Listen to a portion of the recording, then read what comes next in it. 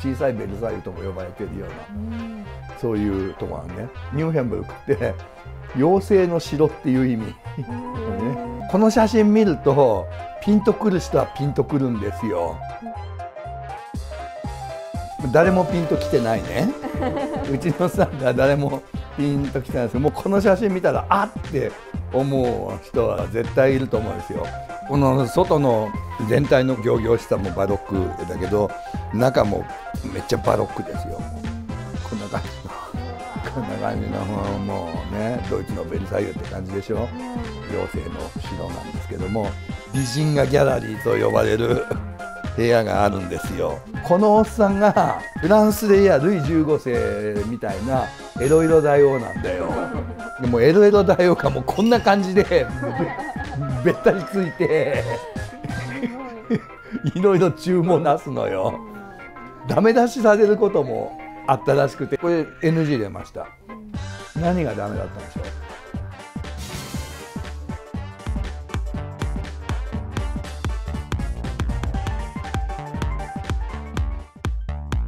う？はい。あのベートーベンの肖像を描いたシティーラーという画家がミュンヘンのニューヘンブルクにある美人画ギャラリーを描いた人だということが分かって 美人画ギャラリーにある魔性の女をねぜひ紹介したって話をしたんだけども、はい、このニューヘンブルクって結構広いんですよ。ドローンとあるんですよ、ミュンヘンの中心から西5キロぐらい17世紀にバイエルン選定校フェルディナント・マリアの時代にイタリア人の建築家が設計してたバロック宮殿で、うん、この感じから見ても分かるように、まあ、ドイツのベルサイユっていうか小さいベルサイユとも呼ばれてるような、うん、そういうとこなんね。ニューヘンブルクって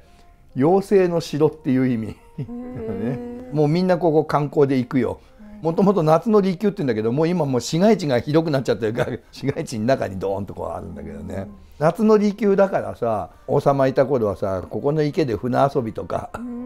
やってた夏のイメージが強いんだけど、はい、ここね意外に冬にねこの池が凍ったり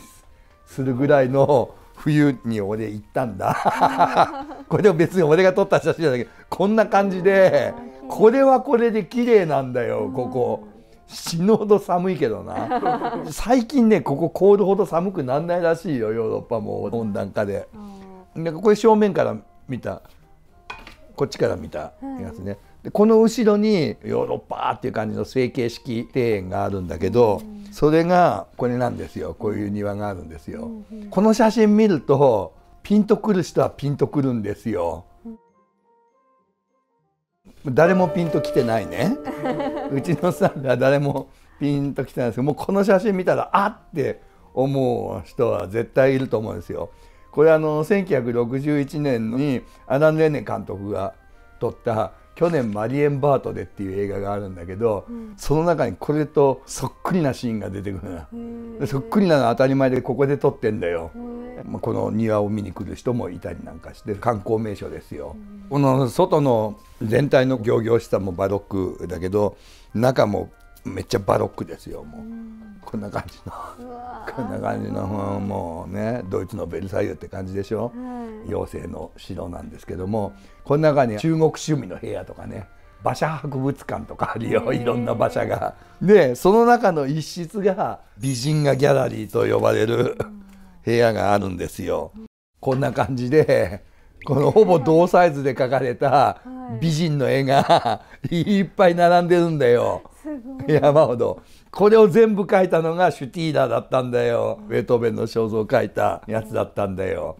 これはなかなかすごくてシュティーラーの時代の各国のあらゆる美人が描かれてるんだけどね王侯貴族だけじゃなくって女優さんとか町娘とかまで描かれてるんだよね。このシュティーラーってなんと3代にわたってバイエルン国王に仕えてるんだけどその真ん中一番長く仕えたのがこのルートヴィヒ一世っていう人なんだよ。このおっさんがフランスでいやルイ15世みたいなエロエロ大王なんだよ。ちょっといいなと思う女性がいるとすぐシティーラーに「文字を書け」っつって書かせるんだよね。貴族の女性だけじゃなくって女優から町娘までいろんな人が書かれてるんだけれどももう紹介していくとキリがないんだけどね。当時ドイツで二大女優の一人って言われたのがこの人なんだよ。シャルロッテ・フォン・ハークンっていう人なんだけど、えー、大人気女優だったんだよね。一時このエロエロ大王の愛人も エロエロ大王だから。ほっこりしたところではこの人がいるんだよ。この人ねヘレーネ・ゼーデルマイヤーっつってミュンヘン美人の代名詞なんだよこれがミュンヘン美人だっていうのでいつも出てくるのはこの子なんだよでこの子はミュンヘンの靴とかなんか雑貨を売ってるもう完全な町娘なんだよ。たまたま王宮に王子のおもちゃを納めに行った時にエロエロ大王に「あの子は誰だ!」って 見つかって「彼女の絵を描け!」って言われてこの子はねこの人のお手つきになることなくエロエロ大王の従者 の貴族と結婚して子宝に恵まれて幸せな一生を送ったのこの子は、あよかった、うん、この子の絵を制作中のスケッチがあるんだけど ほらこの子でしょ？ね。これだからシティーラーですよ、ね。でもエロエロ大王かもこんな感じでべったりついてい。ろいろ注文なすのよ、ダメ出しされることもあったらしくてシティーラー、これアウグステ・シトローブルっていう王室の会計官のお嬢さんだった人らしいのよ。これ NG 出ました、うん、何がダメだったんでしょう？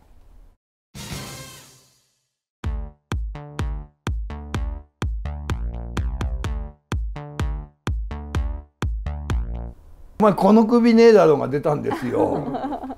それで書き直ししたの。だってこの人首長いんだもんみたいな。